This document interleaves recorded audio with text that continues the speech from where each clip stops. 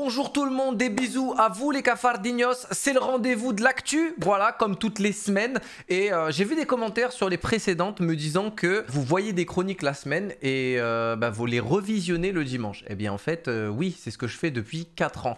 Donc il y a deux grosses actus, entre guillemets, des gros titres qui sortent en semaine. Et le dimanche, c'est l'actu complète avec plein de petites chroniques différentes. Et donc oui, il y a des doublons, entre guillemets, sur l'actu du dimanche également. C'est pas du recyclage ou quoi que ce soit. C'est juste que je vous sors en gros un, deux highlights euh, bien appétissants. Et après, il y a la grosse actu tous les dimanches. Donc voilà, je tenais à l'expliquer encore une fois, même si euh, pas mal d'entre vous étaient au courant. Je, je vous le rappelle. Vous voulez échanger vos skins? Passez par Skin Monkey, un site spécialisé dans les échanges. Trade ton inventaire de manière automatisée et sécurisée. Code Malek CSGO pour avoir jusqu'à 5 dollars et 35% de bonus. Et on commence donc cette actu cette semaine par euh, bah, une bonne, mauvaise nouvelle, je sais pas. les skins vont bien, en tout cas, voilà, sur Counter-Strike 2.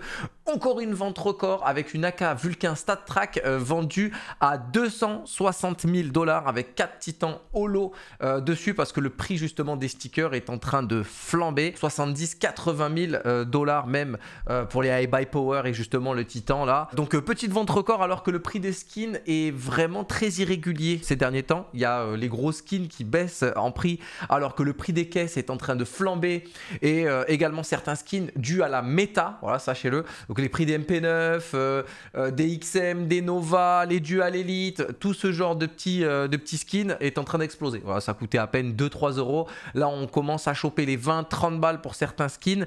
donc je vous dis pas de vous ruer ou quoi que ce soit, mais faites très attention. C'est très irrégulier pour le moment, ça fluctue énormément. Donc il y a de l'argent à gagner, il y a de l'argent à perdre. C'est à vos risques et périls. Petit message de prévention. Alors petit bisou à Rocknar que vous devez connaître, qui a fait une vidéo de prévention autour du scam et pour éviter bah, de se faire voler son inventaire parce que ça représente des sommes d'argent vraiment très grosses aujourd'hui. Je reçois aussi euh, d'innombrables messages euh, sur mes différents réseaux sociaux me disant ah, Malek, je me suis fait scam, Malek, je me suis fait scam. Je suis vraiment désolé parce que euh, il y a des sites et la quasi-intégralité des sites autour des skins CSGO sont full legit. Le problème, c'est énormément de sites se font tout simplement usurper leur identité et donc se font API scam. Vous vous faites en tout cas API scam, donc c'est il y a des sites, euh, ils refont toute l'interface et, voilà, vous croyez que vous êtes sur le bon site alors que vous n'êtes pas sur le bon site euh, parce que l'API Steam, justement, pour se loguer, pour se connecter via les sites, eh ben, elle est publique, elle est open et tu peux la mettre absolument partout.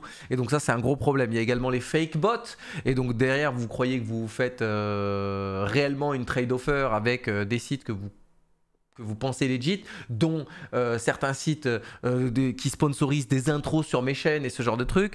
Enfin, c'est, très problématique. Alors, il y a quelques temps, euh, Steam avait mis en place un visuel de prévention euh, expliquant. Donc regardez, je vous montre ça parce que je, l'ai vu et donc je tiens à le remettre euh, ici. Euh, voilà, donc tu vas trade deux items et tu ne recevras rien du tout. Donc des fois, vous avez ce genre de message parce que vous, vous croyez que vous envoyez des skins, mais le truc c'est que quand tu sais que tu envoies des skins contre rien du tout parce que tu le mets en vente ou parce que, ouais, bah, en général parce que tu le mets en vente, eh bien tu sais que tu recevras rien. Sauf que le site se fait donc euh, usurper son identité et tu crois ça. Donc faites très très attention quand vous allez sur n'importe quel site. Regardez bien le numéro du bot euh, parce qu'en général vous recevez un mail euh, de confirmation. Le bot, tel bot avec tel numéro va t'envoyer une trade offer. Donc vérifiez bien tous ces détails là. Et si vous recevez une trade et que derrière elle est annulée et que vous en recevez une deuxième, très certainement que euh, c'est du fake bot et ce genre de truc et vous vous faites scam. Donc faites très attention à ça les amis. Mise à jour des règles sur Twitch. Je sais pas si vous l'avez vu passer cette semaine, il y a eu la TwitchCon là donc c'était euh, Las Vegas euh, pour le coup et monsieur Twitch fait des changements et autorise désormais le multi-stream. Donc très certainement je suis concerné aussi.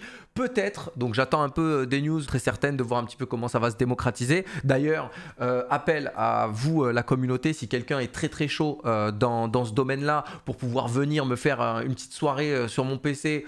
Euh, je lui donne 50 euros au gars pour tout setup, le multi-stream, qu'on fasse ça sur plusieurs plateformes et homogénéiser un petit peu, bah, je sais pas, les logiciels qu'il faut mettre en place et ce genre de trucs parce que j'y connais que dalle. Donc ça me ferait très plaisir de rémunérer quelqu'un de la commu. Donc on pourra très certainement multistream, on peut multistream. Donc bah, moi par exemple j'ai ma chaîne YouTube sur laquelle bah, je peux stream en multi avec ma chaîne Twitch en simultané. Également une, chaîne Kick pour toucher plusieurs communautés et ce genre de choses. Alors attention, il y a quand même quelques règles dont faut faire attention. Donc il faut pas avoir un chat qui communie tous les chats, voilà, qui réunit tous les chats. On peut pas avoir un seul chat où il y a les mecs de YouTube, les mecs de Twitch, les mecs de Kik, les mecs de TikTok et ce genre de choses. Twitch veut que le streamer parle exclusivement à sa plateforme et pas forcément aux autres plateformes, ou alors ne pas la mentionner. Donc euh, c'est un peu la dictature quand même, mais on, avance à grands pas quand même, c'est très très bien. Euh, pas d'alerte également d'autres sites sur euh, le stream principal. Donc ça, c'est extrêmement euh, bizarre parce que si tu reçois une donation sur YouTube, un sub sur YouTube, je sais pas si c'est le cas, si ça existe sur YouTube, ou sur Kik ou sur n'importe quoi, eh bien, euh, faut pas qu'il y ait l'alerte qui apparaisse sur la chaîne Twitch. C'est très très bizarre alors que tu es censé avoir un écran principal où tu as une belle célébration, le mec, bah, c'est son moment de gloire, il s'est abonné à toi, tu as envie de le remercier, la communauté le remercie parce que tu soutiens le streamer. Enfin, faut être honnête quand tu donnes 2, 3, 4, 5 euros à, aux streamers, tu le fais pas forcément pour euh, les lauriers, euh, bon, même si c'est que 5 balles pour certains, enfin, ça, reste quand même de l'argent et il a envie euh, de, son petit moment de gloire et se sentir valorisé, que la communauté, eux, elle aussi, elle est fière de dire putain, il y a un mec qui soutient le streamer, les vidéos qu'il fait et tout. C'est plutôt cool. Moi, en tout cas, c'est comme ça que je vois les choses autour du, du sub et autour de la donation. Et donc, je trouve que cette condition, elle est. C'est la dictature, c'est la dictature. Rien ne peut entacher la réputation de Twitch quand vous streamez et rien ne doit laisser penser que vous streamez ailleurs. Donc ça veut dire que si je stream et que je dis ah là là, il y a euh, Jean-Michel Counter-Strike qui m'envoie une petite euh, question très sympa sur le chat YouTube, les gars, ah, je peux pas le dire, tu vois, parce que ça incite les gens à aller regarder, euh, machin. Là aussi, c'est un peu la dictature. Si je reçois une donation sur YouTube ou sur Kik ou sur n'importe quelle autre plateforme que Twitch et que je suis en live en simultané sur Twitch, mais eh je peux pas le, le, le le, mentionner euh, parce que bah, peut-être que le, chat sur Twitch le verra pas et donc je dire ah les gars il y a il y a Malek là, il vient de m'envoyer 5 euros, merci à lui, voilà, faites-moi une là sur tous les chats, euh, qu'on kiffe un peu, qu'on célèbre tous ensemble. Tu vois, c'est un peu la dictature. Alors c'est un grand pas en avant quand même, hein, parce qu'on pourra multi-stream et donc euh, ça peut changer totalement l'industrie. Euh, imaginez tout simplement de toucher plusieurs plateformes. Donc je pense à l'échelle vraiment industrielle. ESL, DreamHack, les tournois Counter-Strike, les tournois de League of Legends, The International sur Dota 2, Fortnite, ce que vous voulez. Et ça sera retransmis sur toutes les plateformes en simultané, toucher plusieurs communautés, euh, multiplier donc les audiences, des appels d'offres après pour le, market, le market donc euh, pardon, les publicités, les régies de publicité et ce genre de temps et ce genre de choses. Donc c'est ultra positif. Il y a encore quelques trucs où voilà, ils font un peu chier. Bon, c'est dans les règles, c'est pas dans les règles. Est-ce que ce sera euh, respecté? Je pense que c'est très dur quand même de pas lier. Euh, tu reçois une donation là-bas et tout. Je parle vraiment vie, de la vie au quotidien quand tu streams. en tout cas, c'est une super nouvelle. Voilà, et je remercie profondément les milliers de gens qui me suivent sur toutes les plateformes en particulier également sur Twitch, parce que depuis des années, bah moi j'avais pas move sur Kik, euh, voilà, je suis toujours en France, je suis pas allé sur euh, un paradis fiscal ou quoi que ce soit, et euh, bah là à l'heure actuelle on a plus de 1000 subs, je, je, suis extrêmement reconnaissant de votre soutien, vous avez rien lâché depuis beaucoup d'années et il faut continuer justement de progresser, et je remercie du fond du cœur ceux qui s'abonnent, qui font un petit don de temps en temps, parce qu'ils veulent me soutenir de manière personnelle, parce qu'ils ont apprécié une des vidéos, un tuto, un guide, une actu, et qu'ils ont envie de, bah voilà, de me rétribuer comme ça. Je vous remercie profondément les gars. Si on passait à l'énorme titre de cette actu et de euh, la politisation de Counter-Strike et euh, de ce que ça engendre avec un énorme thread Twitter qui a fait énormément de bruit plus de 3 millions de vues uniquement sur Twitter. Ça a été repris sur absolument tous les médias un petit peu euh, spécialisés justement pour euh, démanteler un petit peu tout ça et aussi pour se poser la question de s'il faut boycott, voilà, parce que c'était un appel au boycott et euh, à la cancel euh, culture autour de Counter-Strike, parce que cette demoiselle euh, a décidé de féminiser, de sexiser Counter-Strike en disant, voilà, donc il y a un trade, je vous épargne le trade, je vous mettrai ça comparé à Valorant et ce genre de trucs, des, des arguments absolument fumeux et que je vais totalement, totalement démolir maintenant, ici, aujourd'hui. Alors, les premiers arguments, c'est de dire que voilà, Counter-Strike, c'est euh, extrêmement populaire, mais euh, que euh, ça se déroule donc au Moyen-Orient et notamment à Jérusalem sur la map emblématique de Dust 2. C'est totalement faux. La map de Dust 2 se, est au Maroc. Voilà, elle est au Maroc. Comme Cobblestone est en France, comme Inferno est en Italie. Voilà, Counter-Strike, c'est un petit peu la célébration de, de des gentils et des méchants, voilà, du gendarme et du voleur et ce genre de trucs. Et pareil, ça euh, plébiscite toutes les forces de l'ordre dans le monde entier également. Parce qu'on disait antiterroriste vs terroriste et que les terroristes étaient des, méchants, euh, euh, des méchants des Arabes, du Moyen-Orient et ce genre de choses. C'est aussi faux, voilà, parce qu'il y a tous les agents de Counter-Strike, euh, notamment les antiterroristes, qui euh, vont valoriser toutes les forces de l'ordre. Il y a les gendarmes français, par exemple. Il y a également les agents du FBI. Il y a le SWAT. Il y a les Navy SEAL. Donc, selon les forces de l'ordre d'un pays, euh, d'une organisation ou quoi que ce soit, elle est quand même, enfin, Counter-Strike met quand même en avant les forces de l'ordre. Et pareil pour les méchants.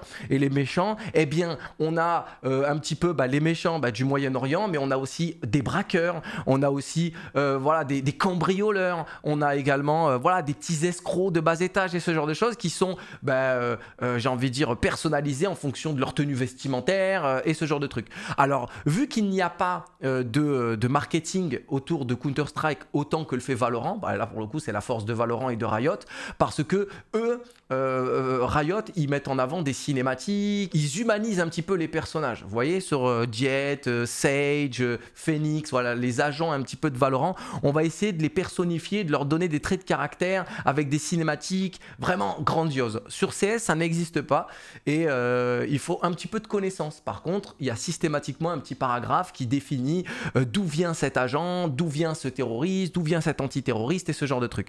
Et donc, c'est juste euh, le, mode FPS, c'est la guerre, voilà, c'est l'attaque contre de la défense, euh, on plante une bombe, c'est le B à bas un petit peu de, la guerre qui existe depuis la nuit des temps. Et, euh, et donc ça, je le démolis parce que voilà, c'est pas juste les méchants arabes et les gentils et les gentils euh, soldats euh, qui vont sauver euh, l'humanité. C'est vraiment pas ça. Deuxième, donc troisième, parce que j'ai aussi démonté l'argument fumeux de, que ça se déroulait à Jérusalem alors que D2 c'est au Maroc c'est totalement euh, abominable. Pareil pour Cash, qui est, je crois, Nuke, qui est une centrale nucléaire, il me semble, en Allemagne. Euh, Cash, qui se déroule, je crois, en Russie. Enfin, il y, a pas mal de petits trucs comme ça, des petits clins d'œil sympas avec euh, des, lieux historiques qui existent réellement et tout. Et je trouve que c'est abominable de vouloir diaboliser, politiser et amener un climat de, vraiment de confrontation là où il doit pas y en avoir parce que c'est un jeu vidéo qu'on kiffe et personne n'en a rien à faire de si c'est des méchants, des gentils, on joue au jeu et puis point à la ligne. Il y a personne qui fait des, drames de fou autour de Counter-Strike depuis plus de 20 ans qu'il existe, en tout cas la franchise. Euh, argument aussi catastrophique qu'il n'y a pas de femmes dans Counter-Strike. Voilà, parce qu'elle a dit voilà, sur Valorant, euh, il y a des meufs, c'est cool, voilà, euh, il y a des fessiers, il y a des nichons, ça c'est super génial, il y a Raze, il y a Phoenix, etc. Et en plus, dans une cinématique de, euh, de Valorant, on avait euh, le, le, fait que Riot dévoilait l'orientation sexuelle, notamment de Killjoy et Raze, deux agents, et donc qui étaient homosexuels. Sachez-le. Et donc là, elle, dit aussi une stat absolument fumante que Counter-Strike était constitué à 95% euh, de, de joueurs hommes c'est faux, on n'a aucune stat sur euh, le, nombre de personnes qui jouent hommes ou femmes sur Counter-Strike, donc ça, elle ne peut pas le dire. Et moi, je ne peux pas démolir cet argument. Peut-être que c'est 99,1%, peut-être que c'est 0,1%. Certes, dans le jeu vidéo, il y a plus de garçons que de filles. Il y a des stats absolument abominables qui disent qu'il y a plus de gamers que de gamers, mais ça comprend aussi les, les, les en fait, les les, audits prennent en compte les, euh, personnes qui jouent au, comment ça au téléphone et à Candy Crush etc et pour, eux ça c'est du gaming. Et donc euh, vu qu'il y a énormément de meufs qui vont jouer à des jeux euh, sur les téléphones bah, ils, vont, ils, vont les englober en, les comparant avec Call of Duty Fortnite League of Legends Dota 2 Rainbow Six Overwatch FIFA qui sont des jeux majoritairement joués par des garçons. Et donc là elle dit il n'y a pas de meufs sur Counter Strike c'est faux. Ah, c'est faux. Il y a la gendarme meuf il y a la Navy meuf, il y a plein d'agents meufs, il y a la cambrioleuse meuf là avec sa avec sa, sa, cagoule noire et euh, son, son, acolyte justement la tête de Podka là. Euh, enfin voilà, vous le savez, vous le savez, vous le savez. Moi ça, moi ça, ça m'a mis hors de moi parce que je l'ai vu sur Twitter et je l'ai vu passer comme ça, j'en avais rien à faire. Sauf que là, ça a pris une ampleur de ouf. C'est repris par des médias, euh, machin, qui veulent s'accaparer le fait que on diabolise un jeu et que voilà, c'est le méchant Counter Strike encore une fois je suis obligé de le défendre comme je peux défendre un autre jeu. Euh, Valorant, euh, voilà, fait très bien les choses. Faut dire la vérité, tu vois, quand marketingment parlant, Riot, bien, euh, ils vont justement sexualiser des agents, ils vont justement en féminiser, en masculiniser certains et en donnant du storytelling autour d'un agent, du lore sur League of Legends et ce genre de trucs. Eh bien, ça personnifie. Tu, tu, tu, vas, tu rentres dans un univers, tu rentres dans un monde. Alors que là, le monde, c'est un petit peu nous, notre imagination et à cette grosse débile qui raconte absolument n'importe quoi aussi. Euh, et je sais pas ce qu'elle veut en fait. Elle veut qu'il y ait des, cambrioleuses euh, en tenue de catch, mini short, leggings serrés, qu'on joue à Counter-Strike comme ça. ce, jeu se veut réaliste en fait. Et donc forcément, c'est les forces de l'ordre euh, d'absolument tous les pays qui existent dans ce monde-là, des spécialités. bah moi, je suis très content et très fier que par exemple il y ait des agents de gendarmerie nationale français dont j'ai dans mon inventaire dont j'ai dans mon inventaire. Voilà avec euh, avec les petites euh, avec les euh, putain avec les protections et tout machin en Kevlar et tout ça je trouvais ça stylé. Comme il doit y avoir des américains qui sont ultra contents qu'il y ait des agents du FBI et notamment Ava voilà la personne Ava. Faudrait que je lance le jeu que je vous montre mais j'ai la flemme. Je pense que le monteur il va devoir aller chercher tous les agents pour vous les montrer et puis c'est tout. Mais voyez moi, moi, je les ai parce que c'est aussi cosmétiquement parlant euh, des agents, euh, il y a des agents qui ont des combinaisons noires, d'autres bleues, d'autres bleu marine, euh, d'autres qui ont des surgants, des bottes, pas de bottes, et donc forcément tu veux les, tu veux les combiner, les harmoniser avec ton inventaire et des skins aussi. Et, donc là, le fait de, diaboliser ça, de, ça me met hors de moi. je vous le dis, ça me met hors de moi. Je sais pas vous ce que vous en pensez, mais si aujourd'hui C'est le cas depuis quelques années, mais on avance vers le, chemin de on veut tout diaboliser, on veut tout politiser, on veut, euh, systématiquement confronter euh, les genres, confronter les gens, confronter les cultures, confronter les ethnies. Ça me saoule, ça me saoule de zinzin. Ça me saoule.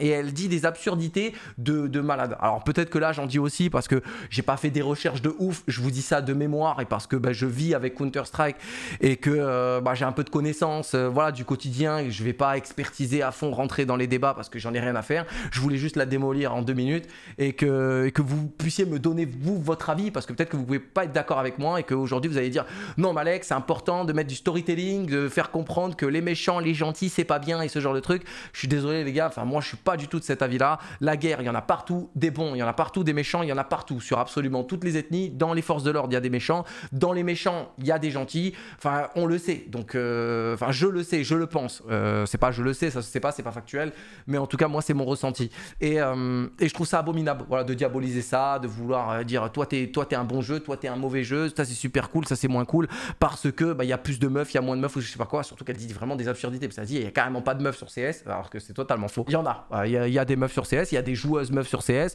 je, je, je, je, mets en avant la scène féminine depuis des années et des années et des années, j'ai des amis meufs que j'ai de longue date avec qui j'entretiens des relations exceptionnelles, j'ai passé des moments en LAN avec des filles, des joueuses, des joueuses pro euh, que, je me souviendrai toute ma vie, avec des soirées, des machins et tout, parce qu'on partage la même passion, puis on arrive à se découvrir grâce à CS, et après ça prend une ampleur plus personnelle et on se découvre dans la vie privée. Donc c'est abominable. On aime euh, un jeu, on a une, un hobby et une passion pour certains, ou un centre d'intérêt, et on joue juste à ce jeu-là en fait. Il faut arrêter de, de, de, de, de confronter tout ça, de mettre en opposition, ça me dégoûte, ça me dégoûte. Cette actu va vous faire énormément plaisir, mais va vous faire mal aussi. Euh, donc, euh, va vous faire plaisir parce que euh, on va factuellement montrer l'état dans lequel est Counter Strike, c'est-à-dire une catastrophe, et ça va vous faire plaisir donc pour ces choses-là, mais ça va vous faire mal aussi parce que c'est qu'il y a du boulot. Voilà, il y a du boulot. Donc, il y a eu les IEM Sydney cette semaine. Il y a encore d'autres tournois également avec un jeu qui est, comment dire, en construction. Voilà, pour être le plus poli possible. Et là, factuellement, il y a des choses très très intéressantes. Et il y a Simple qui a totalement démoli Monsieur Valve. Ça, ça me, ça, ça me fait rire. Ça, ça me fait vraiment rire. Je vous l'ai dit parce qu'il va nous faire kiffer à tous. Hein. Alors attendez, euh, attendez la news là parce que c'est incroyable. Donc merci de vous abonner. J'espère qu'on va atteindre les 120 000. Euh, voilà. Euh, Malek CSGO, ça ne changera pas. Bon, j'ai décidé que ça ne changerait pas et peut-être qu'un jour je changerai parce que j'ai tout simplement peur parce que vous m'avez mis en garde sur le fait que ça pouvait absolument démolir ma propre chaîne et le référencement euh, avec YouTube, Google et ce genre de trucs. Donc je préfère pas prendre de risques et Malek CSGO c'est très bien. De toute façon, vous m'appelez Malek parce que je m'appelle Malek et voilà. Et le CSGO c'est le jeu ultime. Donc c'est notre histoire, c'est nos souvenirs, c'est ce qui nous a construit aujourd'hui. Donc euh, c'est bien de rendre hommage en gardant CSGO, je pense également. Alors, factuellement, le spray a changé sur Counter-Strike. Voilà, on avait une sensation bizarre, on ne savait pas. Eh bien, sachez qu'ils l'ont même facilité, euh, les amis. Voilà, il est plus facile. le, spray est moins euh, moins dispersé sur CS2 que sur CSGO. Voilà, donc je vous mettrai bien évidemment euh, les tweets en description. C'est Tour qui nous montre ça. Et on a grosso modo 5% de spread en moins, donc beaucoup plus concentré. vous allez dire, mais c'est pas possible. Moi, mon spread ne touche pas. Mais oui, parce que le netcode est abominable. Tout simplement, le netcode est une catastrophe sur Counter-Strike 2, point à la ligne. Il y avait le problème des hitbox, ça a été corrigé, le jeu c'est toujours de la merde. Le spray est plus facile, le jeu c'est toujours de la merde. C'est parce que le netcode est une abomination, tout simplement. Le netcode, c'est euh, la communication de notre PC vers le PC de Counter-Strike, Valve, les serveurs, euh, voilà, qui sont, ils se parlent pas, tout simplement, ils se parlent pas, ils comprennent pas. Toi t'as touché, moi j'ai pas touché, moi j'ai pas envie que ta balle touche, je décide que ta balle va dans le mur, j'en ai rien à foutre, tu es un noob. Voilà, donc on est tous des noobs. Et euh, donc le spread est vraiment beaucoup plus petit, que ce soit sur la CAC, sur la M4A4, sur la M4A1S, sur les Galil, sur les FAMAS. Voilà, la WAP, c'est une catastrophe, on ne peut pas tenir de ligne. Euh, il y a énormément donc, de problèmes. Cette semaine, il y a eu pas moins de 3, voire peut-être même 4 mises à jour de mémoire. Sur les 4 mises à jour au total, sachez qu'il n'y a absolument pas eu de changement. Voilà, donc pas de CL Bob Lower, pas de netcode, pas de rien qui a été changé. Euh, il y a eu de l'optimisation sur les trucs AMD. Ils se sont mis à bosser justement sur. Euh, ils vont déban absolument tout le monde qui ont été bannis de manière euh, injustifiée parce qu'ils ont eu des cartes graphiques AMD, qu'ils ont activé l'anti-lag et qui ont été détectés comme un cheat que j'ai traité la semaine dernière, qui est une euh, bien évidemment. On a euh, beaucoup de choses euh, négatives à dire sur les IEM Sydney, euh, voilà, dont, je parlerai dans l'actu plus en détail, bien sûr. Mais là, je voulais parler de l'économie, qui est une catastrophe sur Counter-Strike 2. Voilà ce qu'on voit aujourd'hui. Alors, c'est une question, c'est une question, j'ai mon avis, peut-être que je suis trop têtu, peut-être que je suis un aigri. Voilà, donc ça, c'est l'économie. À l'heure actuelle, vous voyez qu'il y a un Nova, un XM, un Max 7, une AWAP, voilà, parce qu'il y a un mec qui va en One Man Army, c'est Son Payus, joueur de Hens, et Snappy au MP9. Donc, on voit à l'heure actuelle, l'économie était compliquée, bien entendu, euh, et ne pouvait pas se permettre de bail. Euh, sauf le mec à la WAP, mais peut-être ou qu'il a save, mais vous avez compris, ou peut-être qu'il avait de l'argent, il pouvait drop une M4 et ce genre de choses. Et là, ma question c'est, je l'ai posée sur Twitter, j'ai eu beaucoup de réponses euh, plutôt euh, d'accord avec moi, et je vous la pose à vous. Si Counter Strike devient comme ça avec ce screen, euh, quel est votre avis? L'économie du MR12 est un désastre selon moi, mais peut-être que Valve souhaite que ça le reste pour que justement les PM et fusils à pompe soient utilisés. Alors, sachez que par le passé sur CS:GO, c'était le cas, ça sera le cas forcément sur Counter Strike 2. De temps en temps, il y avait des mises à jour qui nerfait certaines armes et qui boostait certaines armes, ça dynamisait l'économie. Comprenez là que depuis les IEM Sydney et voir les joueurs pros justement jouer avec des Nova, jouer avec des XM, jouer avec des MP9, les prix des skins ont explosé sur ces armes-là. Un MP9, voilà, ça coûtait 2-3 euros, un Nova pareil. Là maintenant, on tape des 15, 20, voire même 30 euros euh, sur des gros, gros, gros, gros, gros patterns de ces skins-là. Alors qu'avant, pour 20 balles, tu te chopais euh, les 4 skins. Donc, euh, bah, ils s'en mettent aussi plein les poches. Voilà. Et peut-être qu'ils veulent que cette économie reste telle qu'elle parce que le jeu est euh, cohérent sur euh, plusieurs armements. Alors qu'en réalité, Counter-Strike, on l'a toujours connu avec quoi? Quatre armes. AK, M4, AWAP voilà, et euh, Deagle, euh, voilà, si on peut dire euh, Deagle si vous voulez. Bon, de temps en temps, ça sortait un Scout, de temps en temps, ça sortait un Famas, une Galil quand t'es pas trop bien économiquement, mais grosso modo, la majorité du jeu se déroule là-dessus. À l'heure actuelle, vraiment, si tu perds le pistolet le premier round d'armée, c'est finito. Tu es à 4-0, c'est la guerre, t'as plus d'argent, tu cours derrière l'économie, c'est trop dur, tu vas devoir euh, être, euh, t'as plus de bail, t'as plus de bail, t'as plus de, plus de round à la M4, c'est fini. M4, kit, full grenade, sac Gucci et tout, c'est mort. Donc Qu'est-ce que vous, vous en pensez? Peut-être je suis un vieux aigri, boomer, et que euh, j'ai trop l'habitude de voir de la Kalachnikov, de la, de la M4, de, du sniper, et de voir de la bagarre un petit peu de ce genre de truc. Je suis euh, aussi dubitatif du fait qu'il y a le run and gun, il y a l'avantage à la décale, et forcément quand tu joues avec des armes, des PM, où tu es extrêmement précis en sautant, en courant, que tu n'as pas besoin de contre-straffer, euh, la cadence de tir est très élevée, le netcode est fumé à, à, souhait, et donc forcément ces armes sont over, over, over cheatées. Là, les fusils à pompe à mid et longue distance, tu te fais arracher la tête, tu perds vraiment 70, 80 PV euh, et tu t'échappes parce que tu sais très bien que si tu remets un coup, même dans les yep, ça y est, t'es fini. Donc vraiment, même les fusils à pompe, je les trouve genre overcheatés. Alors que ce soit très fort à corps à corps, ça ne me dérange pas parce que Counter-Strike est un jeu extrêmement tactique et extrêmement sophistiqué, ce qui veut dire que quand tu sais qu'en face, eh bien forcément l'économie elle est mise à mal et que leur équipement va être de ce fait euh, en corrélation avec leur économie, c'est-à-dire qu'ils vont rien avoir dans les poches, eh bien tu vas dézoner, tu vas jouer intelligemment, tu vas mettre des molos dans les corners, etc. Tu vas raccourcir la distance, voilà, parce que tu vas jouer des longues lignes. Et dès que tu vas te rapprocher au mid-distance, tu vas mettre des molos, des smokes, tu vas vouloir isoler. Là c'est pas le cas, les mecs au fusil à pompe à mid-distance, ils te font des décales de de, de, de, mecs de MMA et tu te prends des coups de coude dans les dents. Donc ça, moi, ça me met hors de moi. Pire que ça. Ouais, le netcode, tout va bien, la hitbox, tout va bien. Regardez, j'ai quelques clips pour vous faire vomir, bien évidemment. Et là, regardez-moi ça. Il a mis une brochette Mais d'où il y a une brochette? Mais comment? Mais où? Mais où? Où ils sont alignés Où Comment Let's go. C'est pas possible. C'est que ça il a tiré là, lui il est mort et tout machin. Donc il faut comprendre que ça c'est le net code. C'est le net code, comment il voit, où il voit, où est-ce que sont les, coéquipiers. Peut-être que justement il y a Sidebox qui est, qui est justement décalé parce que c'était le gros bug qu'on avait révélé, euh, les problèmes de hitbox que j'avais traité justement en vidéo. Et eh bien visiblement c'est ce cas-là en fait. Moi c'est ma seule explication. C'est ma seule explication, c'est que justement la hitbox est décalée. On voit le personnage ici, mais Sidebox elle est tout simplement là.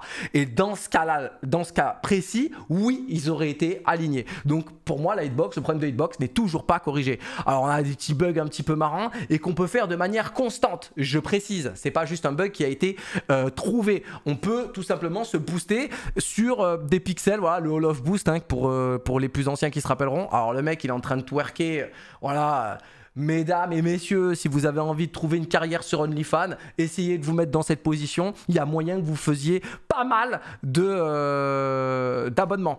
Et euh, voilà, donc on arrive à se booster euh, comme ça, la tête dans le fiac, et, plutôt pas mal. Voilà, le mec littéralement dans les airs. Sachez qu'on peut vraiment, vraiment, vraiment, vraiment, vraiment le faire de manière constante et sur plusieurs maps différentes. Et regardez encore une fois, là, c'est la spéciale, hein, parce qu'il y a la brochette, puis il y a celle-là. Voilà, je sais pas c'est quoi la pire entre le clip 1 et le clip 3. Je vous laisse faire des votes dans le chat et dans les commentaires. Faites-vous kiffer. Regardez, on décale à part tranquillement. Oh, on a vu une petite épaule, donc on sait. On cherche. Oh, et là, il est mort. Mais il a vu personne, le monsieur. Donc, euh, pareil, netcode ou différence de hitbox. Donc, expliquez-moi. Ça veut dire que selon moi, selon moi, il serait mort bien avant ça, en fait. Pour moi, il est mort bien avant ça. Donc là, il meurt maintenant, à la frame 1.43. Voilà, à la frame 1.43. Il ne voit absolument personne. Donc selon moi, selon moi, et ma théorie fumeuse, il est mort maintenant. Vous voyez là C'est là qu'il meurt. Là, le mec l'a décalé, lui a mis un one tap. Voilà, parce que Hitbox, Netcode, Interpolate a fumé. Et là, il, prend la balle une seconde après avec le visuel où il disparaît. C'est la seule explication que j'ai euh, de science. Voilà. Et si mon bon sens venait à quitter mon âme, je dirais que c'est de la merde, tout simplement. Euh, donc voilà, beaucoup de mises à jour, aucune correction à droite, à gauche, et euh, pire que ça, hein, le, le clou du spectacle, c'est Monsieur Simple qui nous révèle quelque chose d'exceptionnel.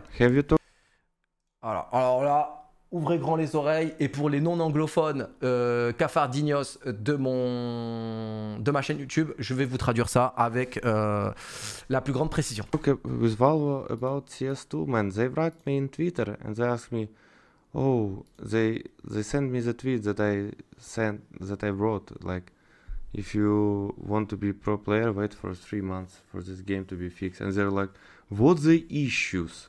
You know what, I What did? the I never answer them back. How can you ask me what's the issue if the fucking whole internet, whole Twitter writing about issues? You don't see the fucking issue or what? Oh là là, moi je vous le dis, Simple est le GOAT. Voilà. Donc, euh, il avait tweeté, euh, comme absolument tout le monde, que le jeu était une catastrophe et qu'à l'heure actuelle, il fallait pas jouer à CS tant que les mises à jour n'avaient pas été euh, effectuées pour donner un jeu décent. Valve a vu ça et l'ont contacté sur Twitter en DM et lui ont dit, ils lui ont copié-collé son, son tweet en disant c'est quoi selon toi les problèmes? What's the issues? Voilà, quels, quels sont, quels sont les soucis? Que- que- Quelle solution tu as à nous apporter? Et euh, il leur a jamais répondu. Voilà, tout simplement. Il, a, il a dit allez vous faire foutre parce que effectivement t'as pas besoin de l'avis de Simple, t'as pas besoin de l'avis de n'importe qui, étant donné que même eux techniquement, euh, potentiellement il y a des joueurs quand même assez très, très limités même en termes de connaissances euh, techniques et qu'il y a des il y a des vrais connaisseurs de, euh, de level design, de map design, de sound design, de, plein de ces choses-là qui peuvent apporter beaucoup plus d'informations que euh, les, joueurs. Moi en tout cas c'est de mon avis parce que j'ai regardé euh, une vidéo de SL, les settings des pros sur CS2, c'est une catastrophe. Les mecs ont des settings, c'est une catastrophe. Et ils savent même pas expliquer quoi, quoi, quelle option, quelle ligne et ce genre de trucs. Donc, bah c'est bien, c'est un bon, un bon pied de nez à Valve. Euh, ce clip a fait le tour du monde, a été repris absolument partout. Je le reprends moi aussi pour vous expliquer que euh, le CS est dans un état catastrophique. La scène pro est très, très, très mécontente. Il y a eu les IEM Sydney en plus. On va en parler, mais euh, voilà, il y a eu les IEM Sydney. C'était, euh, pas, pas joli, joli, joli non plus à regarder. D'ailleurs, on va parler des IEM Sydney tout de suite. Vous savez quoi? Let's go. Les IEM Sydney ont pris fin. C'était le premier tournoi Counter Strike 2 tiers 1 avec toutes les meilleures équipes du monde. Vitality s'est cassé la gueule et bien comme il faut. Voilà, euh, donc perdu. Ils ont fini dernier du tournoi. Voilà, deux matchs, deux défaites. Euh, winner bracket perdu, loser bracket perdu et euh, retour à la maison. Et c'était à Sydney, donc en Australie. Donc rendez-vous compte du décalage horaire et du temps de vol pour faire deux matchs, c'est quand même abominable. Mais il y a des changements chez Vitality, il y a du mercato, FaZe est champion. Euh, Twist est annoncé sur le départ. Il va y avoir euh, vraiment un mercato hivernal de grande envergure, sachez-le. Et on va parler bien évidemment du parcours de Vitality, du parcours de, euh, de FaZe. Mais avant ça, je vais vous montrer un petit clip d'un show match qui, qui a été pris hors contexte par beaucoup d'entre vous. Vous m'avez même arrobas dessous. Donc merci, hein. continuez de m'envoyer des actus, continuez de m'envoyer des articles, essayez de m'envoyer plein de petits trucs que vous voulez que je traite parce que c'est super intéressant. Sauf que là, vous m'avez envoyé ça. Bon, je l'avais vu, mais vous m'avez envoyé ça de manière full premier degré. Donc euh, je vous laisse regarder. c'est marrant. c'est grave marrant. tight. It's beautiful. It's tremendous. Wait, wait, wait, wait, wait, wait, wait. Ah, what the fuck? How's Sponge holding the... What? He's a CT. What?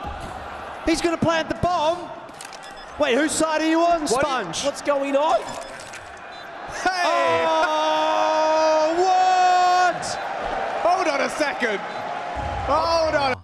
Et il va, et il va terminer en allant euh, bah, désamorcer la bombe et gagner le round alors qu'il est CT et il se retrouve avec la bombe sur lui. C'est un show match. Euh, les devs peuvent faire absolument ce qu'ils veulent, switch euh, les weapons, les machins, mettre de l'argent illimité, mettre le god mode, mettre, enfin, il faut faire ce qu'ils veulent. Et donc ils l'ont autorisé à faire ce genre de choses. Je sais pas comment techniquement, mais ils l'ont autorisé pour que ce soit un truc fun.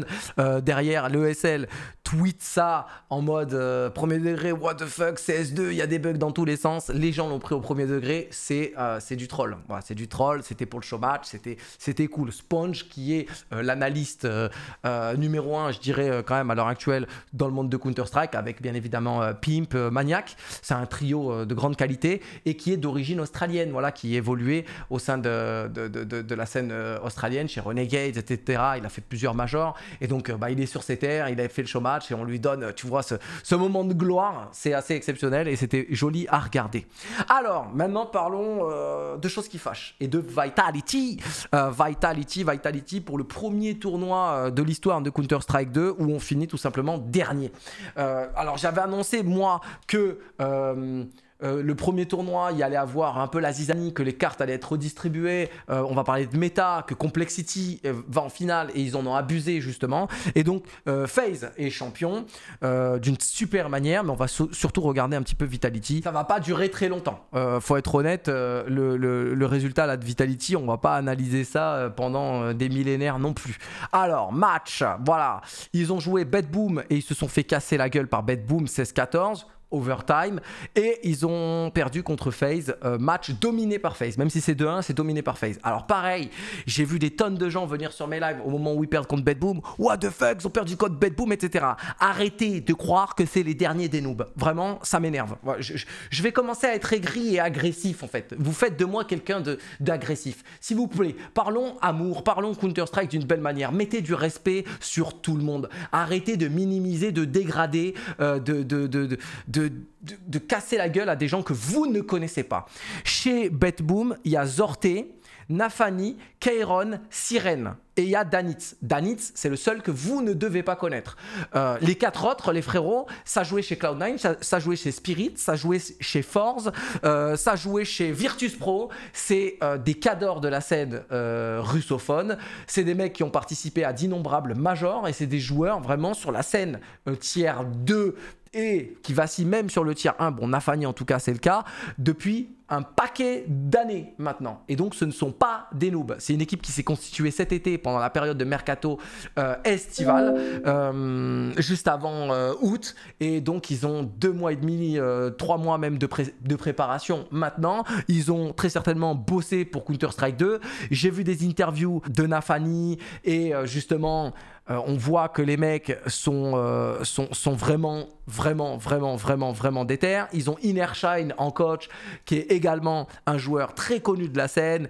Euh, donc c'est pas pas les derniers des noobs. C'est pas les derniers des. N'allez pas croire que Vitality a perdu parce qu'ils ont perdu. Ils ont gagné également Bad Boom. Il faut les respecter. mais bon, c'est un match qu'on doit gagner, bien évidemment.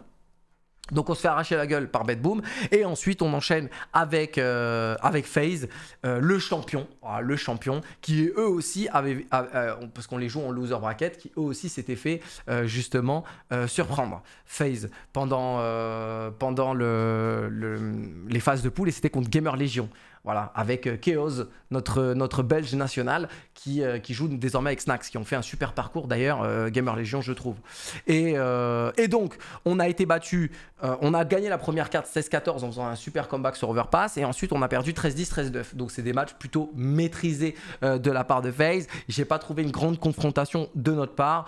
On a Ziwu voilà, au-dessus, et le reste, c'est pas trop ça. Alors, sachez qu'il y a des. va y avoir des changements. Ça y est, c'est acté, il y a trop de il y a trop de, de débuts, un petit peu de floraison, de, de, petits feux là comme ça qui apparaissent un peu à droite à gauche. Il y a des changements chez Vitality, c'est sûr à 100%. On cherche un remplaçant pour Magisk, voilà, avec euh, notamment euh, Twist. Twist est annoncé euh, potentiellement chez, Vitality, mais pas que, mais pas que, parce que, il est annoncé également chez Liquid, il y avait une, une news, mais il a été justement pour parler avec, avec comment ça s'appelle, avec Vitality, mais également avec Falcon, donc très prisé, donc ça cherche vraiment à remplacer Magisk, qui est sur le départ également, qui devrait rejoindre donc Zonic très bientôt, donc restructuration chez Vitality également, mais on est en très bonne position. C'est pas une restructuration en mode période de catastrophe, il y a le feu partout, faut éteindre tout ça. Non, ça va très bien chez Vitality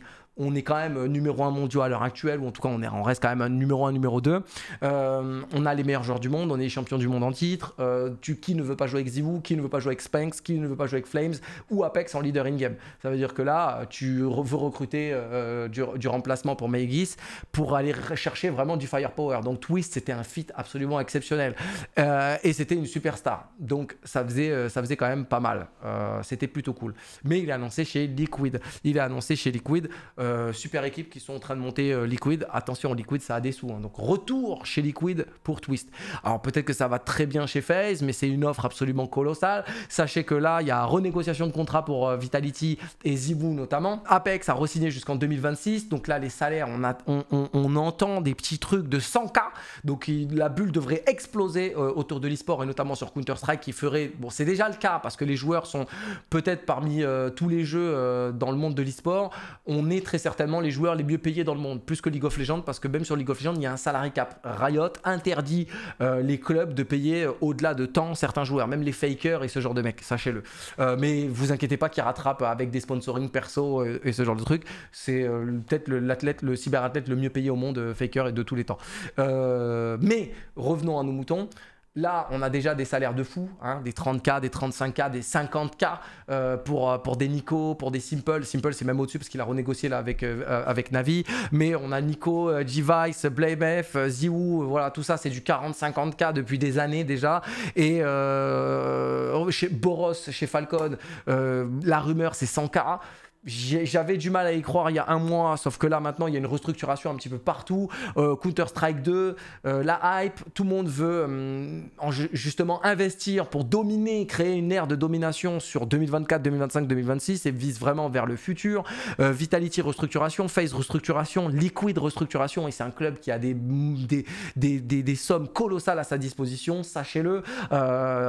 Liquid est détenu par Disney, hein, Disneyland, Disney World, ou je sais pas comment ça s'appelle. Donc rendez-vous compte que c'est du très très lourd, euh, Liquid. hein. Pareil, quand vous voyez les collabs de Liquid qui font des collabs justement avec euh, Captain America, euh, Hulk, Spider-Man, Naruto, ce genre de trucs, parce que en fait c'est- Disney derrière, ils ont certains droits, enfin ils font des collabs absolument colossales.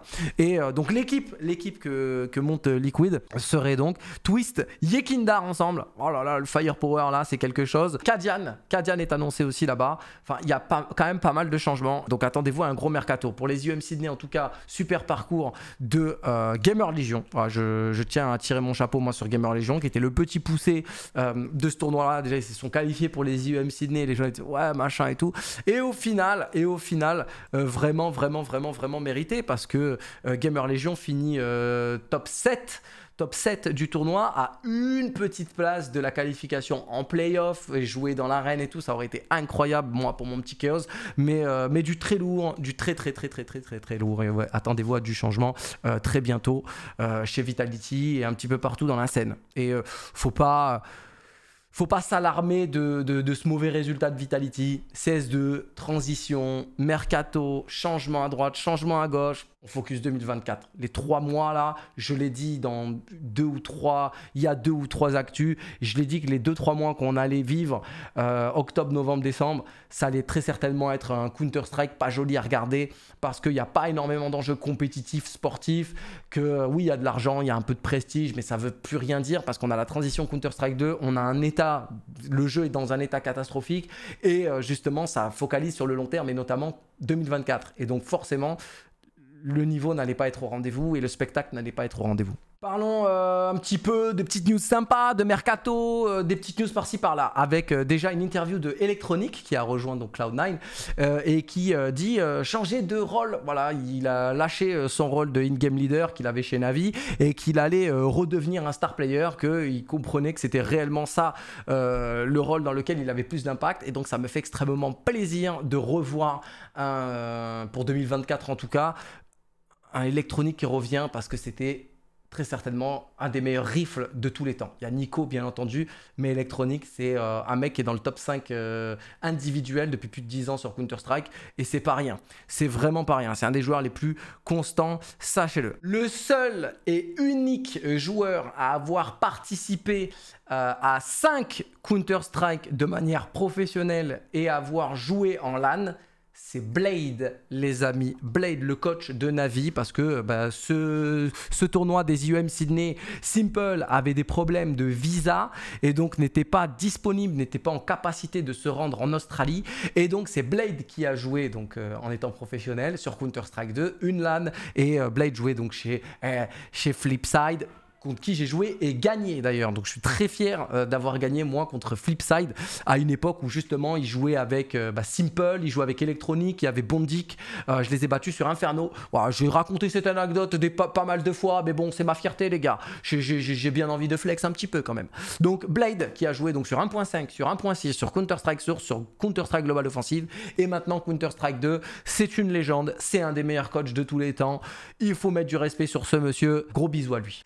Qui ne mâche pas ses mots lors de- des UM Sydney qui dit que le MR12 est absolument horrible tacticalement, euh, donc tactiquement, et euh, que c'est extrêmement bête ce qu'a fait Counter-Strike de ne pas changer justement l'économie euh, en fonction du MR12. Donc soit tu remets du MR15 et tu laisses l'économie telle quelle, soit tu laisses le MR12 mais il faut changer l'économie. et sachez que la majorité, l'intégralité même de la scène qui s'est exprimée en tout cas sur le cadre de l'économie sont désagréablement... Euh, surpris par, euh, ce que ça donne en compétition. Pire que ça, là on vient de finir les IEM Sydney les amis et euh, moi j'attends des mises à jour voilà, parce que c'était le gros tournoi et je me suis dit ils vont pas faire de grosses mises à jour Valve sur Counter-Strike 2 pendant les IEM Sydney, ce qui est logique. Peut-être que c'était une opportunité aussi pour Valve de se déplacer en Australie pour parler justement avec les joueurs de la scène et avoir des feedbacks un petit peu de la compétition. Et là on enchaîne déjà avec d'autres tournois en fait. Cette semaine se joue la Roubette Cup avec Heroic, Virtus Pro, Astralis, euh, des gros de la scène quand même. Et il y a également la Thunder Peak Cup avec pareil, Heroic, Face, Cloud9, Fnatic, Big, euh, voilà, coup sur coup.